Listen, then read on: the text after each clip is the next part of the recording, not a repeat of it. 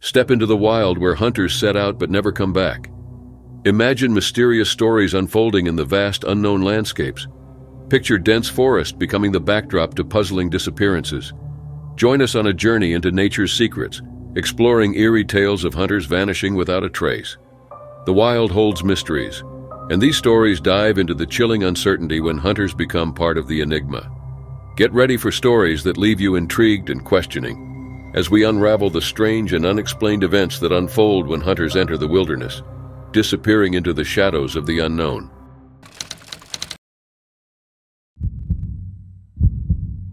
Zeb Hughes, a 21-year-old student at Mississippi State from Wesson, and Gunnar Palmer, a 16-year-old from Hazlehurst, were not just avid duck hunters. They were two souls bound by a common love for the outdoors and a passion for supporting wounded warriors through their volunteer work with Jeep Sullivan's Wounded Warrior Outdoor Adventures. It was on a chilly morning, December 3, 2020, that the two friends set out on a hunting trip near the Mississippi River. The air was crisp and the promise of a wounded warrior hunt the next day fueled their excitement. Riding in their truck with a boat trailer in tow, they headed towards their usual hunting spot in Port Gibson. Gunnar's dog, Ranger, was always present on Zeb and Gunnar's hunting trips, but this time Gunnar decided not to bring the dog for reasons unknown. It was 2 p.m. in the afternoon when Zeb and Gunnar were nearing their usual hunting spot, which was Port Gibson, where they parked their truck to begin with the hunt. As they were pulling into Port Gibson, Zeb took his phone out and made a quick call to his mother, Sharon, saying that they were getting into Latorno Landing before saying goodbye, and his usual I love you to his mom. Zeb was a sweet child despite being 21 already, and it shows. With excitement on their faces just like the first time, Zeb and Gunnar went out of the truck with rifles on their hands and carrying everything they needed for the hunt. They were pretty skilled despite being very young, and it really shows just by the way they carry themselves near the water. Even though they've experienced hunting for ducks several times now, they're still mesmerized by nature and was always excited with what they do. There, they rode on the boat trailer they always carried and started their anticipated hunt. At first, the hunt was going so well with Zeb and Gunnar peacefully navigating the waters and talking about random things. But when the night came, mysteriously, they never came home. Gunnar's father always calls his son whenever he knows that he's coming home from their hunt. Gunnar's dog Ranger was also patiently waiting for his beloved owner to arrive home, but he didn't, and this concerned Med the most, even Zeb's parents. The news struck the hearts of their families, particularly their fathers, Med Palmer and Barry Hughes. The search efforts involved local authorities, wildlife agencies, volunteers, and even the U.S. Coast Guard spanned weeks and months. Boats scoured the river's surface, sonar delved into its depths, and aircraft and drones combed the surroundings. Yet the mighty Mississippi held on to its secrets. The fathers, Barry and Med, refused to succumb to despair. As the weeks turned into months, they embarked on a relentless quest for closure, grappling with the pain of not knowing the fate of their sons.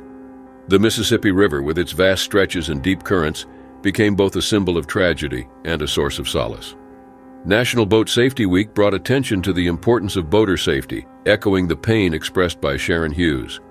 She advocated for caution on the waters, emphasizing the need for preparedness to avert heart-wrenching incidents like the one that befell her son and his friend. The one-year anniversary loomed, yet the fathers persisted in their search, exploring riverbanks in the hopes of finding any trace of Zeb and Gunnar. The Mississippi River, once a witness to their joyous hunts, became the backdrop for a poignant quest for closure and remembrance. The story weaves through the emotional struggles of the fathers, the beauty of the river that claimed their sons, and the enduring connection between the families and the mighty Mississippi. The river, which took away two young lives, transformed into a place of reflection and remembrance for those left behind. As Med Palmer drove thousands of miles with Gunnar's dog Ranger by his side, he reflected on the irony of finding peace in the same river that stole his son away. The river, with its calm beauty and unforgiving currents, became a canvas for the fathers to paint their memories and seek closure. Up until this day, Zeb and Gunner were never found.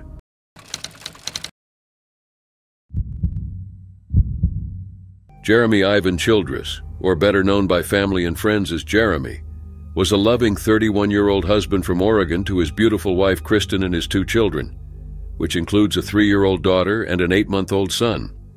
He was an avid outdoorsman and hunter, and has been frequently going out to a particular section of the Tillamook State Forest in Tillamook County to hunt and explore nature.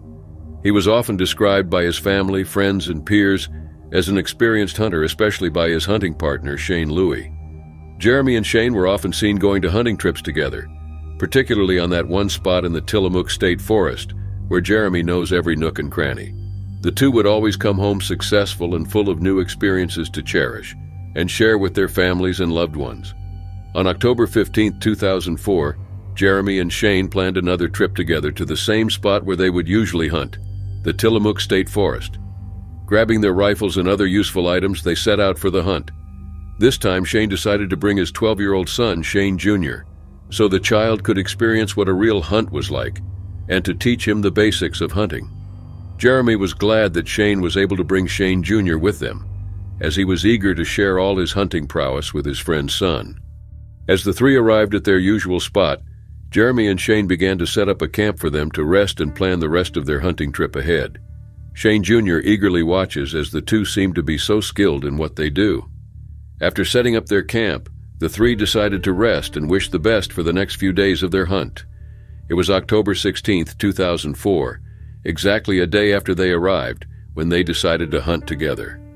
Jeremy, Shane, and Shane Jr. navigated the forest smoothly, and they arrived at the usual spot where Jeremy and Shane would hunt. It was another successful hunt, and it was time for them to go back to their camp. However, there was one problem. They seemed to have lost their way back. Shane Jr. was terrified when he realized that they were lost, but Jeremy assured them that he knows the way back, and he wants to search the area himself, giving Shane and Shane Jr. a promise that he will come back with knowledge on where their camp is. And there, exactly at 4:30 p.m., was the last time that Jeremy would be seen alive. A few hours after Jeremy had set out by himself to search for the camp, Shane and Shane Jr. decided to find their way back themselves, as they thought that Jeremy had already reached it and just forgot to go back to them. However, when the father and son had successfully reached the camp and found no trace of Jeremy there, that's when they knew that something was wrong, that Jeremy was missing. October 17, 2004 marked the official declaration of Jeremy Ivan Childress as a missing person. The forest, once a haven for his adventures, now held the secret to his disappearance. An exhaustive search yielded no clues or traces of the experienced hunter, who knew every inch of the Tillamook State Forest. Eleven days turned into weeks, months, and eventually 19 long years. Jeremy's fate remained a haunting mystery with his family trapped in a perpetual state of uncertainty. As the 10th anniversary of his disappearance approached, his mother, Becky Grimes, clung to hope, haunted by the enigmatic circumstances surrounding her son's vanishing act. In the backdrop of towering trees, Becky tirelessly placed flyers, tended to a small memorial, and refused to let the case fade into obscurity. The forest, once a playground for adventure, now echoed with the unanswered questions of a grieving mother. The details of Jeremy's disappearance, etched in the missing hunter alert, spoke of a man with a love for risk-taking adventures and the outdoors. A loving father and husband, he left behind a family grappling with the void he left in their lives. The dense vegetation of the Tillamook State Forest became a canvas for unanswered questions, a labyrinth of uncertainty where an experienced hunter disappeared without a trace. Becky Grimes, with tearful eyes, spoke of her enduring hope, a beacon in the darkness, that one day the mystery would unravel and Jeremy would be found.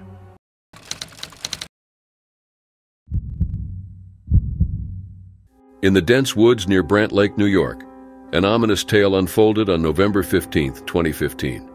Thomas E. Messick Sr., an 82 year old ex paratrooper and seasoned hunter, embarked on a routine hunting trip with friends and family.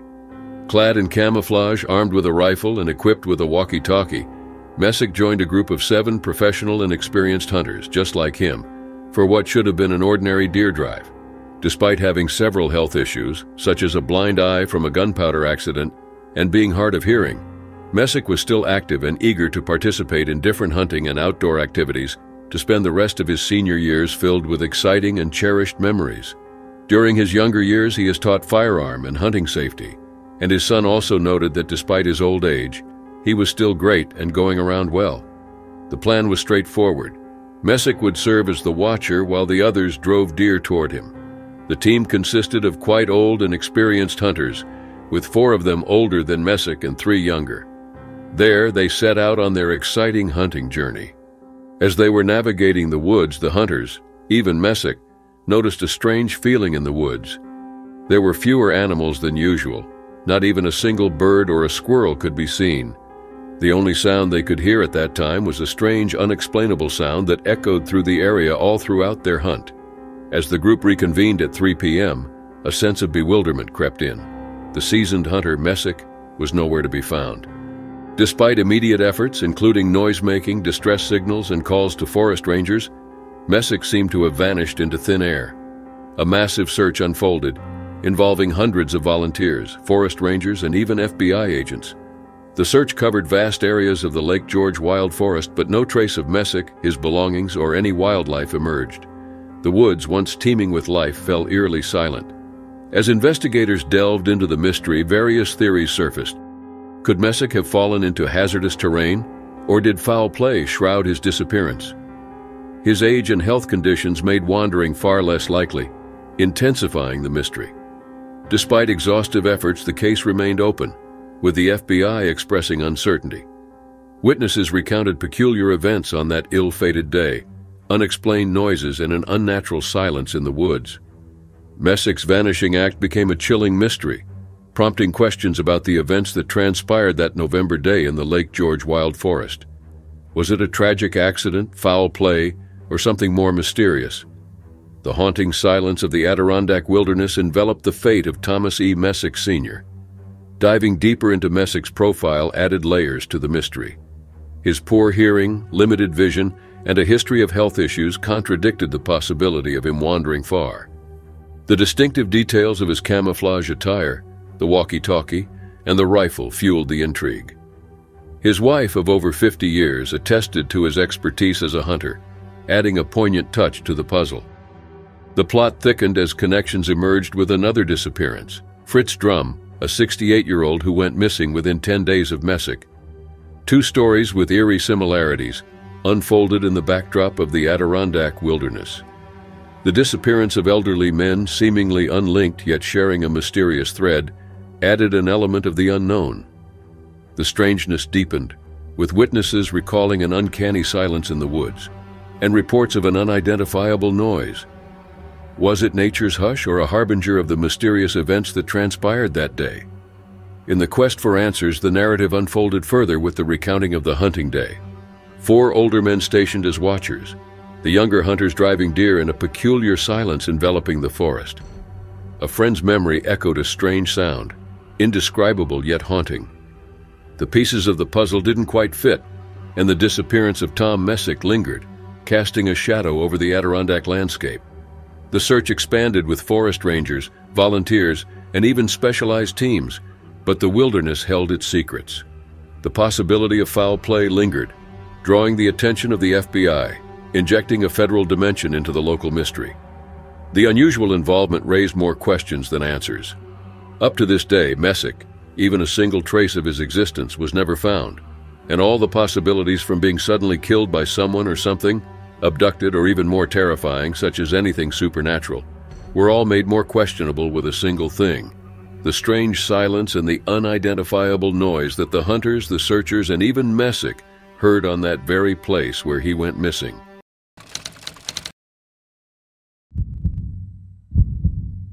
The Colorado mountains stood in stark contrast to the familiar landscapes of Muldrow, Oklahoma, where Alvy Webb, an 86-year-old former principal and teacher, embarked on his annual elk hunting trip. It was the morning of October 19, 2019, when Alvy had set out on an exciting hunt. As the sun began to cast long shadows over the rugged terrain, Alvy set out on a solo elk hunt near the Divide Road Roaring Fork area of the San Juan National Forest. His family, well acquainted with the custom, left him alone on a familiar trail, expecting to reunite at the bottom of the hill around 10 a.m. Little did they know that this would be the last time they saw Alvy. When the hunting party returned as planned, anticipation turned to bewilderment. Alvy, with his sharp mind and love for the outdoors, was nowhere to be found. The family retraced his steps, desperate for any clue that might lead them to the missing patriarch. Yet there was no trace, no boot print, no sign of struggle, just an eerie void where Alvy had stood hours earlier. The ordeal set off a massive search effort, drawing upon the resources of rescue teams, bloodhounds, Black Hawk helicopters, and the relentless determination of family members. The mountainous terrain, with temperatures plummeting to the teens, added urgency to the mission. Five days of relentless searching yielded no results, and the official search was reluctantly called off. Alvy's mysterious disappearance left everyone involved perplexed. How could a man of his age and familiarity with the surroundings vanish without a trace? No signs of distress, no communication from his cell phone. The void seemed to devour all leads. The family, friends, and authorities grappled with questions that echoed through the silent wilderness.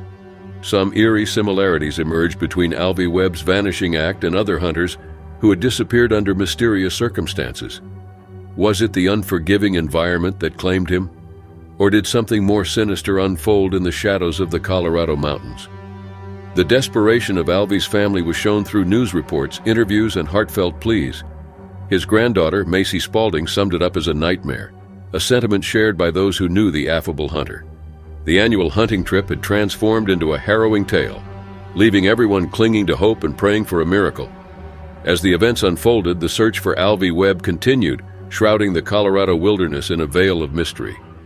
The additional information painted a portrait of a man whose sharp mind defied his age, a man who undertook the yearly hunting ritual with enthusiasm and a keen sense of direction.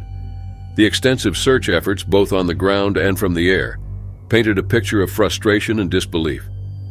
Despite thorough searches covering large areas with meticulous precision, Alvy remained elusive.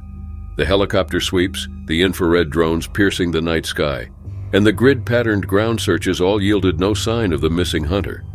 The perplexity deepened as details of Alvy's last known location emerged. A trail near Divide Road, a meadow where he had hunted before, and the Roaring Fork Road, all familiar landmarks, now bore the weight of an unsolved mystery. The chilling gunshot heard by the hunting party added another layer of complexity, raising more questions than answers. Sheriff Steve Nolan at the helm of the search voiced his frustration, stating, We looked all over, but there was no sign of him, no clues. The lack of evidence and the absence of any indication of Alvy's presence fueled speculation. Did he fall victim to the elements, or did something more nefarious occur in the heart of the wilderness? Despite the efforts of everyone to find even just a single trace of him, they found nothing.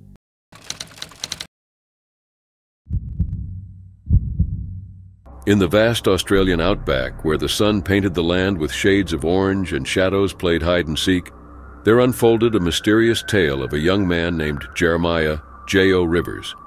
It all began with a pig hunting trip, not your ordinary adventure, but one laced with secrets and shadows. Picture J.O., a 27-year-old indigenous man from the East Kimberley, setting out with a group of seven companions. This journey, starting from Balranald, New South Wales, wasn't just about hunting pigs. There was a hidden agenda, the transport of cannabis to sell in faraway communities. As the convoy rolled through the dusty trails, the air filled with the scent of adventure and the distinct aroma of cannabis. The group, fueled by the drugs they carried, found themselves in a haze of excitement. However, J.O. seemed to be affected more than the others. Hallucinations danced in his eyes, and he spoke of a longing to swim in waters clearer than those around him. The desert, a vast and mysterious canvas, became the setting for a story that went beyond the ordinary. Weepo Creek near Noccundra became the stage where J.O.'s reality faded into shadows. His kinship brother, Joe Cantilla Gaydon, witnessed the unfolding events. In his intoxicated state, J.O. expressed a desire to find clearer waters. As night fell, J.O. wandered off into the unknown, leaving behind a trail of uncertainty. Fear gripped the group, preventing them from reaching out to authorities due to harsh conditions and the fear of legal consequences.